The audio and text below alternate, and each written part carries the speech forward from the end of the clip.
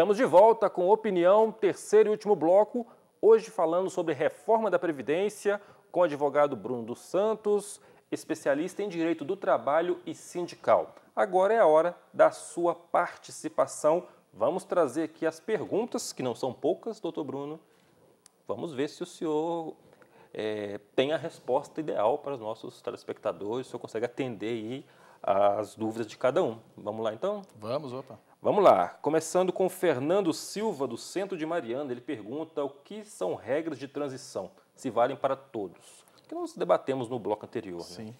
Ô, Fernando, é, a regra de transição não vale para todos. Né? A regra de transição são regras adequadas a trabalhadores que estão na ativa, mas ainda não é, preencheram os requisitos necessários, mas estão próximos a se aposentar aplica a grande maioria, mas não a todos. Né? Os, os trabalhadores mais jovens né, não vão aplicar as regras de transições, vão ser é, adequadas a, a, longo prazo e não, é, não são acessíveis a eles. É, tem a questão aí do que são os, os pontos, é Sim, são duas perguntas é, semelhantes, que é do Pedro Gonçalves, da Colina e Mariana, e do Reinaldo, do bairro Rosário e Mariana. Eles perguntam como funciona o sistema de pontos para a aposentadoria. Ah, sim. É, qual é o nome deles? É, Pedro Gonçalves e Reinaldo.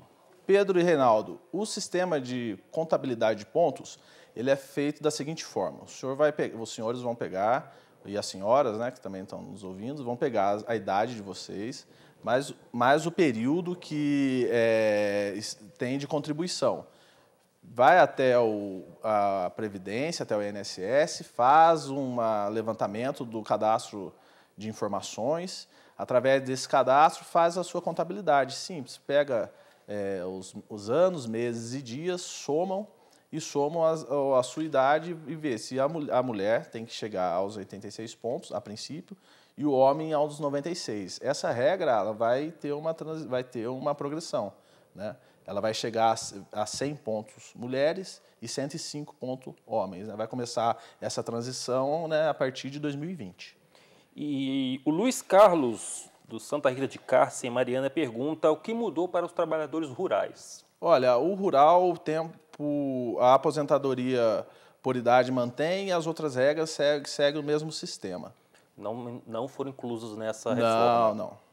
É, ainda sobre essa reforma, o Cristiano Oliveira, do Centro aqui de Ouro Preto, pergunta se ainda há algo para ser modificado. Tem a PEC paralela que Tem já está em paralela. tramitação. Né? É, a PEC paralela ela foi uma PEC que teve origem no Senado, né? Para adequar pontos que a PEC, que a proposta que veio do governo, não conseguiu entrar em debate na, nem na Câmara nem no Senado, então ela vem para adequar é, a forma como os estados e municípios vão aderir a essa emenda, né?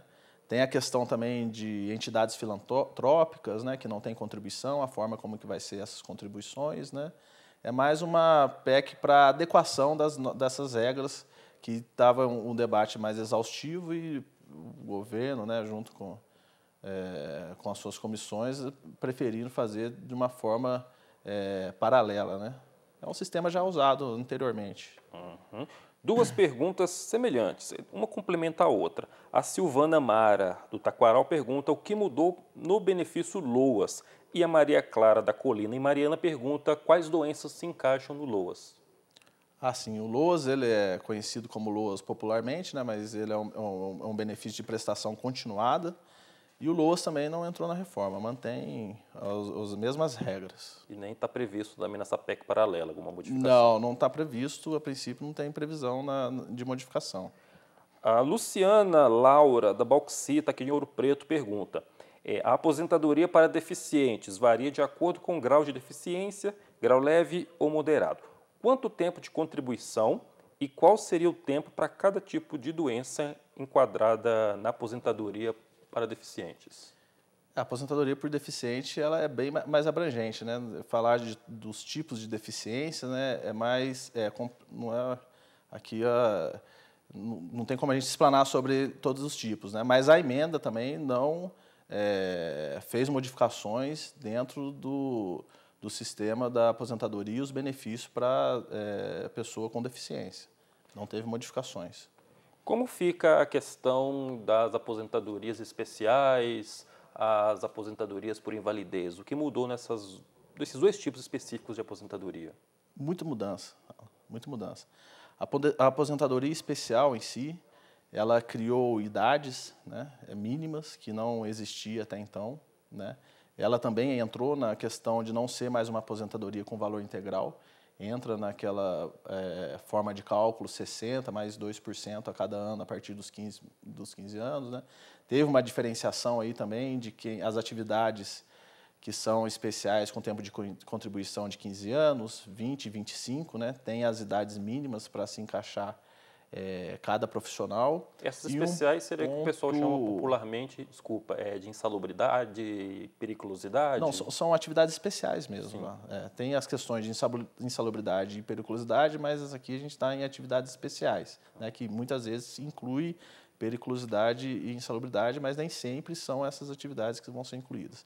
Essas questões de atividades especiais, elas, elas se aplicam que numa situação é, bem peculiar, que anteriormente você é, é, atuava numa atividade especial durante 10 anos e depois ia para uma atividade comum, sem ser atividade especial, e esse tempo de contribuição, ele tinha ele, o fator 1.4, que é 40% a mais, né? você multiplicava por 1.4. Esse fator não vai existir mais. Né? Então, se você atuou durante um determinado período em atividade especial, e vai para uma atividade comum e não atinge todo esse período, né, para se aposentar nessa atividade especial, ele não vai ser convertido com um acréscimo para atividade comum. Isso aí extinguiu. Né? Pensionistas, o que muda, muda para os pensionistas? É, os pensionistas, as diferenças é, vão ser da forma que vai receber essa pensão. Né? A pensão por morte, que é a, que é a mais comum, né?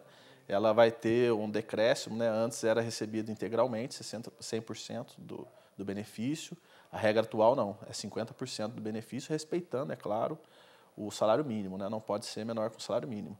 E nesse 50% pode ter um acréscimo de 10% por integrante familiar dependente, é, chegando ao topo de 100%. Né? Então, se tiver mais de seis dependentes, não vai chegar a 110%, vai, vai respeitar o 100% do salário benefício se pode também acumular tanto uma pensão quanto a aposentadoria.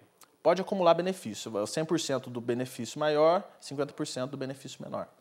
Tá certo, doutor Bruno. Nosso tempo, infelizmente, se esgotou. Foi muito boa essa conversa, tanto para nós quanto para o telespectador. Sempre dúvidas que surgem aí com essa reforma da Previdência, ficou tanto tempo em debate.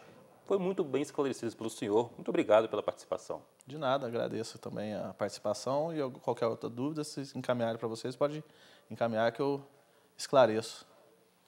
Tá certo, doutor Bruno. Eu conversei hoje com o advogado Bruno Prudente dos Santos, especialista em direito do trabalho e sindical. Esse foi a opinião desta semana. Eu aguardo você na próxima semana com um tema, um novo tema para você. Um abraço e até lá.